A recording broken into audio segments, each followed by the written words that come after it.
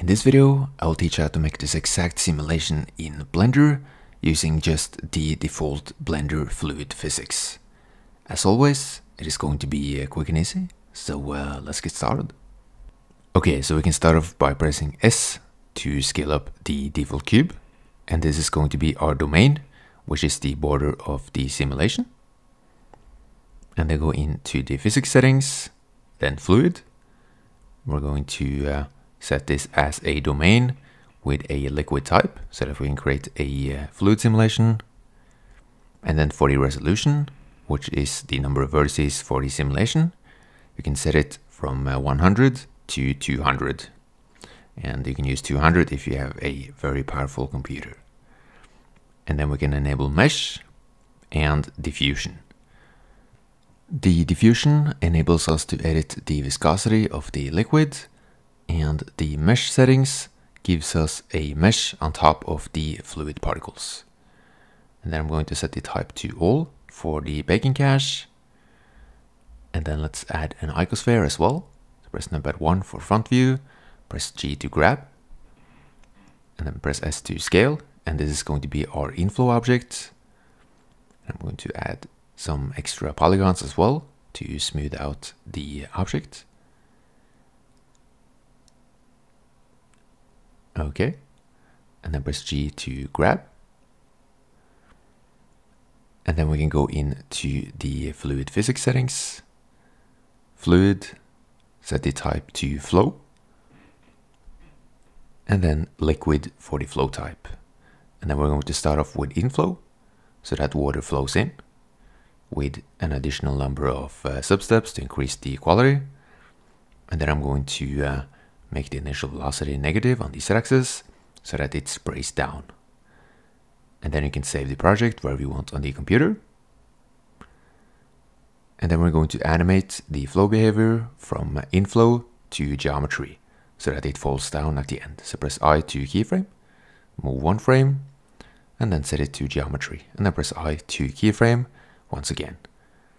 And now that we have the inflow object, we can go down to the bake settings and set the end value to 200 because we only really need 200 frames for this uh, simulation. And then press Ctrl Shift S to create another save and then click bake all to bake the simulation. And after a few hours of baking, you now have a uh, fluid simulation. And then we can press Shift A and add a plane press G, then set to grab it on the z-axis, and I press S to scale.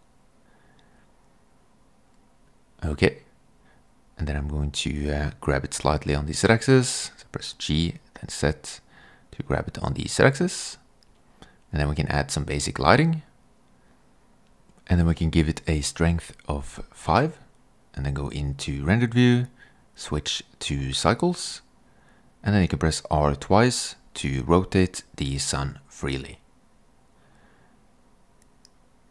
And then we can use the GPU as the device. If you only have a CPU, you can just use the CPU and then set the number of samples to 50 because we do not really need a lot of samples for fluid simulations. And then you can turn on denoising as well to remove some of the noise. And then let's make the uh, background transparent, which we will need especially when we add a background image and then next, we can of course add the uh, background image. So go to the world properties and then environment texture, open, and I will provide links to free HDRIs in the description. I'm using the Chelsea Stairs HDRI for this simulation. And then we need to add a material for the fluid. So I'm going to use the uh, glass material, set the roughness to zero, and then next, you can experiment with the color of the uh, floor.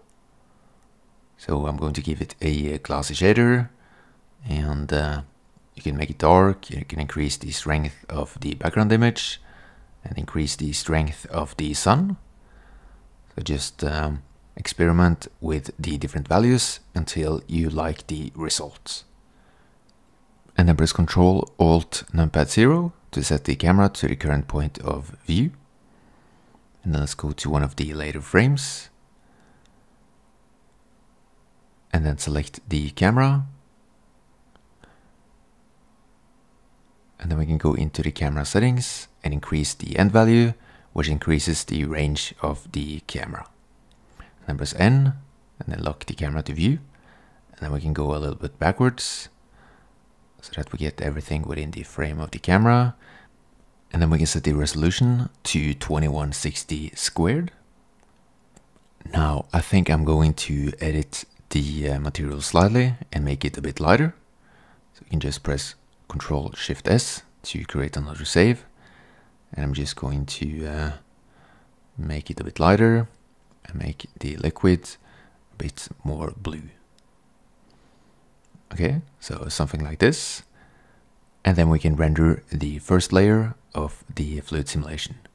So let's set the end frame to 200 because we only baked the simulation for 200 frames. And then you need to select an output folder for the simulation. So uh, click on the folder icon and then create a folder wherever you want on the computer. Create a uh, new folder, give it a name. I'm just going to call it stacking. Select the folder and then give the uh, animation a name for the output. And then I'm going to edit the material slightly. And then we can go to solid view before we do a uh, test render. And then go to render and then render image. And in this case, it took 38 seconds to render one frame. And then you can press R, then set to rotate the plane slightly on the z-axis. And then we can render the whole animation. So I'm just going to save one more time. Then go to render and then click render animation. And once the render is done, we can continue. And uh, this time we're going to go to the last frame and then select the uh, fluid, go to object, and then convert and convert to mesh. And then we're going to turn this mesh into an obstacle so that we can add water on top of uh, this fluid mesh. Okay, so let's add some uh, fluid physics to the mesh. So set the type to effector, which is the equivalent of an obstacle in previous versions of Blender. And then we can uh, add a, a, uh, new domain and just uh, keep the inflow object in the same position. So press Shift A, add a cube, press S to scale, and this will be our new domain for the second fluid simulation. So let's add the uh, domain type to this cube, set the domain type to liquid, and then we can scroll down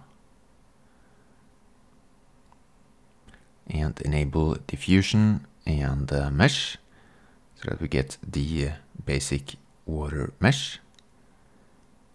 And then set the end value to 200 and then set the type to all so that we can bake it. And if you want to you can also enable is resumable so that you can pause the simulation baking and then it's time to bake once again so click bake all and after a few hours, we have the second fluid simulation, which is on top of the first. And then we can hide this icosphere so that we can render the second animation. And then it is of course time to add a material for the uh, second fluid bake as well. So let's go into rendered view and then you can add a uh, new material you can use glossy or you can add a uh, gloss shader. So just play around with the different types of materials and the uh, different colors until you have a result that you like. So I ended up with a uh, glossy blue material. And then you need to create a, a new folder for the second render. So I'm just going to call it stacking 2 and then select that folder. I'm going to call it tut2 to differentiate between the images when we uh, set them all together. Okay, and then you go to render and then render animation. And then after the render is done, we can repeat the process. So go to frame 200, then go to object, convert, and convert to mesh. And then we turn this mesh into an obstacle by setting it to the effector type and the collision effector type with a few sub-steps as well to improve the simulation. And then we need to add another domain for the last simulation. So press Shift A, cube, and then press S to scale. Then we need to add the domain physics to the cube. So set the type to domain. Then domain type to liquid and uh, whatever resolution you added in the beginning and then enable diffusion and mesh, set it to all so that we can bake it, and then the end frame to 200, just like before. Then we can enable is resumable in case you want to pause and then bake the simulation. And after a few hours, we have the last simulation, at least for this tutorial. And uh, we can say one more time.